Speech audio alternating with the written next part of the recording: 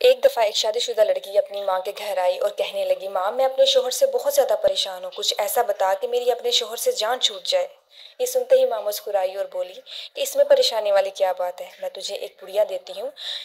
तू बर वक्त उसको देती रहना और इन वो आहिस्ता आहिस्ता खाकर इस दुनिया से चला जाएगा। लेकिन तूने उसको देनी बहुत ज़्यादा खुश से है, प्यार से है मोहब्बत से है, ताकि किसी को शक भी ना हो कि ये काम तूने किया है।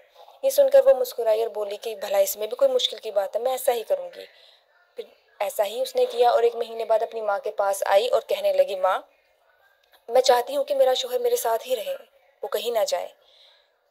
तो माँ ने मुस्कुरा कर बोली, अब ऐसा क्यों चाहती हो तुम? कहने लगी माँ, वो मुझसे बहुत ज़्यादा खुश इलाके से मिलता है, मेरा बहुत ज़्यादा ख्याल रखता है, लेकिन मैं उसको जहर चंद दिनों से दे चुकी हूँ, अब उस जहर का असर ख़त्म नहीं हो सकता। ये सुनकर माँ मुस्कुराई और बोली, पागल वो जहर नहीं था, वो तो हाजमे का चूरन था जो मैंने सिर्फ़ तुझे दिया था। और जहर तो तू थी उसकी ज़िंदगी में।